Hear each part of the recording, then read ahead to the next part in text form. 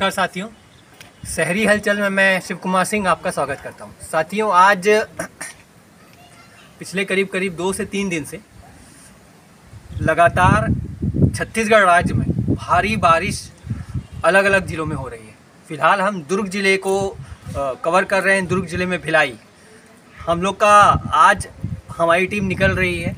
दो से तीन बस्तियाँ हम लोग जाएँगे अलग अलग जगह। वहाँ जानेंगे बस बारिश हो जाने से। दो दिन अगर तीन दिन बारिश हो जाती है तो बस्तियों में पानी भर जाता है अंदर तक। तो आज हम ये मुआयना करने जा रहे हैं अलग अलग बस्तियों में कि वहाँ पर क्या हाल चाल है। वहाँ दिक्कतें तो नहीं हैं लोगों को। तो आज का जो एपिसोड है हमारा शहरी हलचल में भी आएगा वार्ड हलचल में भी आएगा क्योंकि उसमें वार्ड की भी कुछ एक समस्या उठेंगी। साथियों हम उसी कड़ी में शास्त्री नगर वार्ड सत्ताईस में आ गए हैं। यहाँ के पार्षद हैं बीजेपी की लक्ष्मी। लक्ष्मी साहू। लक्ष्मी साहू। तो यहाँ खड़े हैं एक सज्जन है उनकी दुकान है। इनकी भी समस्या वही सड़क का तालाब बन जाना पूरी तरीके से और नगर निगम का ध्यान ना देना। आपका नाम सर? क्या क्या समस्या आती है? पानी जैसे गिरता है। पा, पानी गिरता है तो रोड जाम हो जाता है गड्ढे गड्ढे पूरा हो गए हैं और मच्छर और मलेरिया का ज़्यादातर ये फंस रहा है। लोगों के घर में देखे तो सब खराब हो रहा है बच्चे लोग का। और ऐसा तो अभी ठीक ही है अभी जैसा तो तबीयत चल ही रहा है लोगों के घर में सब। ऐसा तो सर, बाकी सब ठीक ही है। और नाली वाली सफ़ाई तो कर ही रहे निगम वाले। वो कंप्लेन करने से आते हैं। और ये रोड में गड्ढा है और पानी भर जाता है चौक पे। चौक का सफ़ाई वफाई कुछ नहीं हो रहा है। ये कांग्रेस का देन है, लेकिन कांग्रेस वाले लोग कोई ध्यान नहीं देते। कांग्रेस साक्षरता चौक उन्नीस सौ पंचानवे में दिग्विजय सिंह ने इसको उद्घाटन किया था। उसके बाद से आज तक के कुछ नहीं किया है। बीजेपी के ज़माने में थोड़ा सा काम हुआ था, जब विद्यारायण भसीन जब महापौर बने थे उसके बाद से दो बार महापौर बन गया लेकिन आज तक कुछ नहीं हो पाया।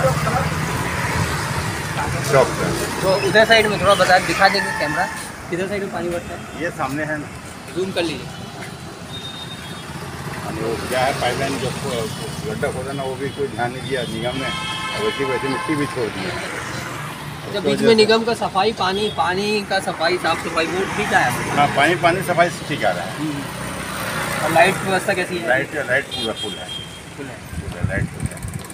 बस अब कोई समस्या नहीं है बस यही है कि रोड में गड्ढे है पूरे गड्ढे गड्ढे हो गए हैं कोई ध्यान नहीं दे रहा निगम। दुर्घटना वगैरह हो, होती है दुर्घटना तो अभी तक हुआ नहीं है।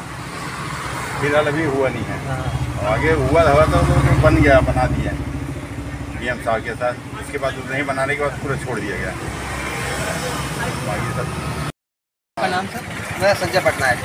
कितने साल से आप यहाँ हैं? मेरा तो यहाँ करीब हो गया साठ साल हो गया जा रहा है। मेरा पचपन साल से मेरा एज हो गया। ये हमारे सामने देखो साठ साल तक आज तक कुछ नहीं हुआ। झाड़ी जंगल ऐसे ही पड़ा है। ना पुराना पार्षद देख रहा भी नया पार्षद है लक्ष्मी साहू। वो भी नहीं देख रही है। ना नाली विकास ना ये डामरी का मैंने वो हुआ ही नहीं करण। मैंने इसका देखा मैंने कुछ नहीं। मैंने पत्थर दिखाना कहीं नहीं है नाली ढाकना नहीं। छोटे छोटे बच्चे हैं और एक कचरा और ये सब मोहल्ला कष्ट है। पानी भर जाता है। नाली में दवाई वगैरह कुछ नहीं अभी ये डालेगा ना इसमें सफ़ाई नहीं कुछ नहीं। ये आप लोग ये देख लीजिए। और पूरा मोहल्ला भी तरस है इसमें। और ये ये किसी का पड़ा हुआ ये दस साल से ऐसी है हम्म, हम्म। ये भी नहीं है इसमें भी सारा जग पूरा बीमारियों का हो रहा है। हम्म, और लेडीज़ भी तरस है ये बोरिंग भी खराब है।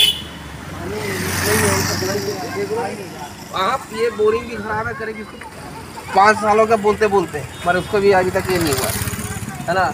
ना वो पार्षद देख रहा ना ये पार्षद देख रहा। दोनों कोई पार्षद नहीं देख रहा। ज्ञापन एक आध बार आपने हमने सब चीज़ बोल दिए और इसका ये पेंट वेंट के बारे में भी करें तो उसको भी आज आज तक ना प्रशासन ध्यान दे रहा है। ना कोई तो तरह का ना मीडिया तक आज तक कोई बात नहीं हो रहा है। बाकी हम लोग कई बार मीडिया को ही बुलाया और ये आप लोग आए होकर के सहयोग दे रहे हैं आप। हम लोग ये देखिए जहाँ तक जो कास्ट पेंट हो ना कुछ नहीं मूर्ति टूटा पड़ा है अलग जोहल सिन्हा को ही बोले बहुत जन को बोले वरना प्रशासन ध्यान दिया ना कोई ध्यान दिया। और ये नाली का ये हटाने के लिए सब बोले भी थे नाली के ऊपर कब्जा आया रखा हुआ है उसको भी कोई ध्यान नहीं दिया। है ना लेडीज़ हो गई है। हाँ, मेरा नाम ललिता ललिता कितने साल से आप यहाँ? कितने साल से? पचास साल। हो गया। क्या क्या समस्या हैं? यहाँ पर नाली बोरिंग खराब है। बोरिंग खराब है बोरिंग नहीं बनता है। हाँ, और हम लोग कितना दूर दूर जाते हैं बोरिंग है तो बोलते हैं? तो नहीं है। खड़ा हो तो इतना दूर जाना पड़ता है। और देखो तो एकदम कैसे नाली भी सुविधा नहीं है एकदम ज़ोर से बोल, ज़ोर से। क्या ज़ोर ज़ोर से बोलूँगा। बोरिंग कितने दिन से? ये होगा कि चार साल हो गया। चार साल हो गया। बहुत पानी निकलता है मगर गंदा पानी। पूरा। ओए पाँच मिनट के बाद कलर बदल चेंज हो जाता है। ये इसका काम ये भी नहीं है। उठते समय और पाँच मिनट के दस मिनट के बाद ना हरा पीला होता है पीला होता है। पूरा जंग बैठ जाता हाँ। है दूर दूर से? मेरा नाम ममता पटनायक। कितने साल से आपके हैं? हम लोग छब्बीस साल हो गया।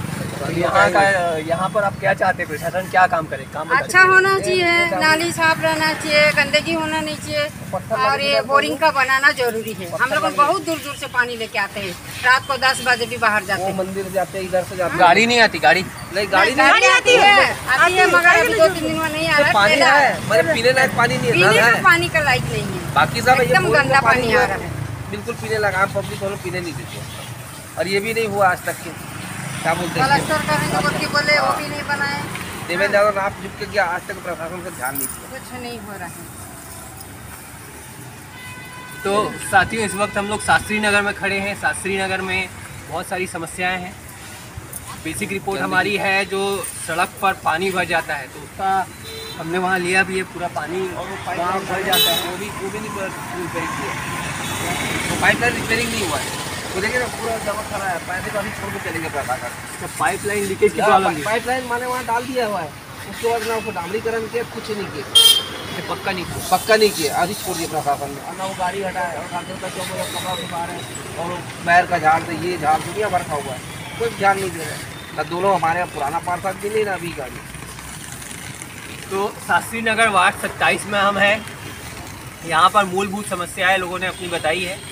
पहले कांग्रेस के रहे हैं अभी बीजेपी के हैं। उनका कहना ये है कि दोनों ही इस बात पर ध्यान नहीं दे रहे हैं। नालियाँ में सफ़ाई भी नहीं होती। इसके अलावा सड़क जो है वो तालाब बन जाता है हर जगह के हिसाब से वही रिपोर्ट यहाँ की भी। इसके अलावा लाइट की समस्या भी है और सबसे बड़ा बोरिंग बोरिंग की जो सबसे बड़ी समस्या है कि बोरिंग में चार साल हो गए करीब करीब चार साल से पानी नहीं आ रहा। गंदा पानी आ बहुत रहा कम है। गंदा पानी भी।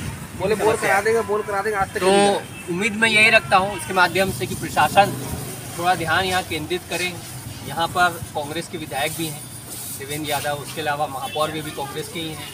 इसके अलावा बीजेपी के पार्षद हैं तो भले आप सत्ता में ना हो आपकी ना हो सरकार लेकिन आपका भी योगदान अपना बनता है क्योंकि लोगों ने आपको जितवाया है तो आपका योगदान ज़्यादा बनता है लक्ष्मी साहू जी।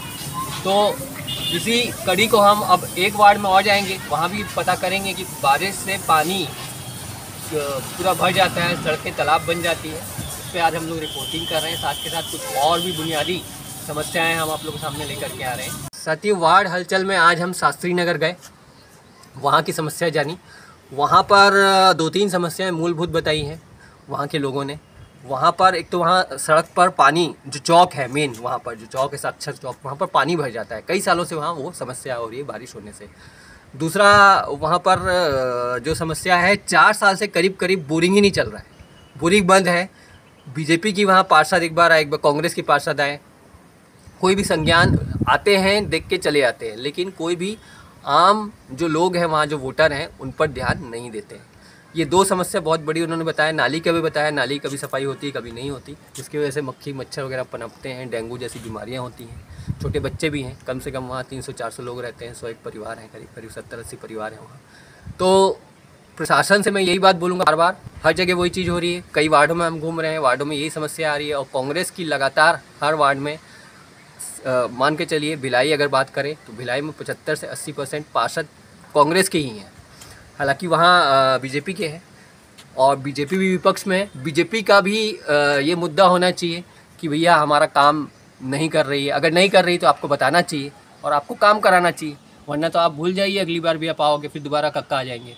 तो मैं फ़िलहाल इस मुद्दे को वार्ड हलचल में जो दो तीन मुद्दा बताया, बोरिंग हो गया, अपना नाली हो गया, उसके वजह पानी भर जाना हो गया, ये सब चीज़ों को और भी हम लोग वार्ड हलचल में दोबारा लेके आएँगे। प्रशासन से हम यही गुहार बार बार लगा रहे हैं कि जनता का सुनिए, आप जनता की वजह से हो, अगर जनता ने आपको वोट देना जिस दिन बंद कर दिया, आप लोग सब सड़क पर आ जाओगे, सारे के सारे नेता।